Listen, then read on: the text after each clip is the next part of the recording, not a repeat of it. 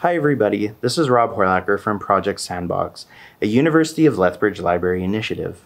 Um, this is the fifth video in a series of videos describing how to print at the University of Lethbridge. This video specifically is going to go over scanning.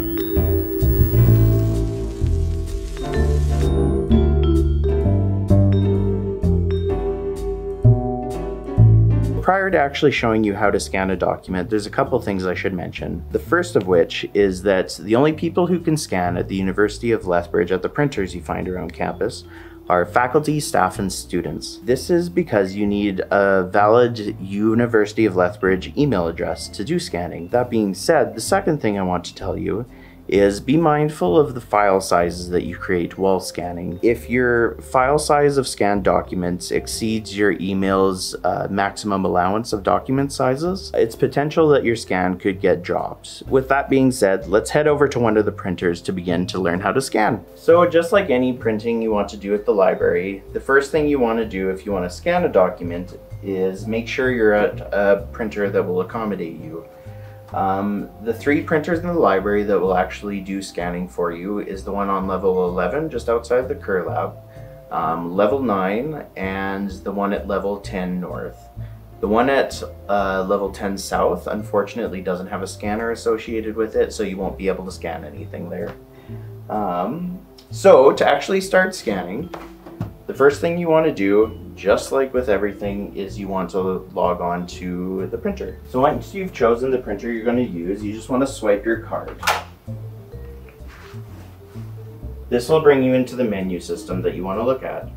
Um, from there you can see printing, copying, and scanning. Um, right now we want to choose scanning, but before we do that, if for some reason you get out of the screen, um, just remember if you hit the home button, then print, copy, scan, this will bring you back to the menu you want to be at.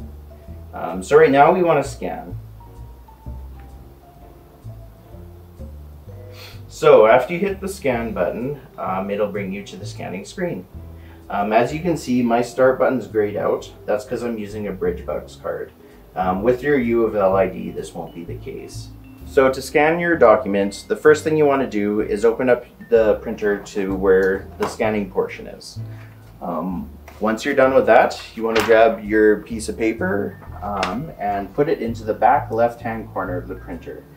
You'll see a little arrow um, that will tell you where the corner of your paper should be. After your document's in the printer, you just want to close up the scanning portion. After your document's in the printer, you just want to hit scan settings and make sure that all of your information is correct. Um, if this is getting scanned the way you want it to be scanned, you just hit OK and then you would just hit starts in the bottom right hand corner.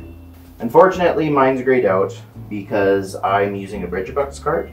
Um, if you have your U of L ID, you'll be able to hit start um, and it'll get sent to your email right away.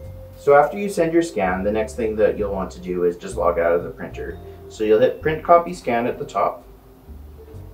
This will take you to the main menu, hit log out,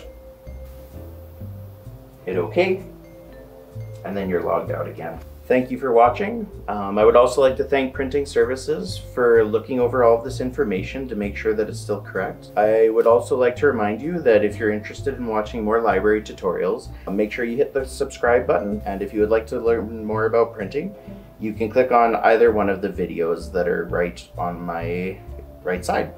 Once again, thank you very much for watching this, and I hope you come back for more.